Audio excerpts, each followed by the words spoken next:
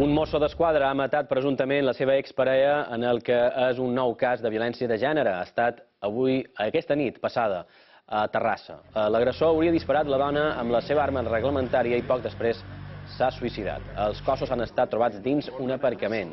Si es confirma, aquest seria el tercer cas mortal de violència masclista d'enguany, d'aquest 2020. Els tres han tingut lloc a Catalunya.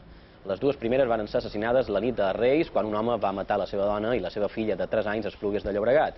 Avui migdia ja s'ha fet un minut de silenci a Terrassa per condemnar el feminicidi.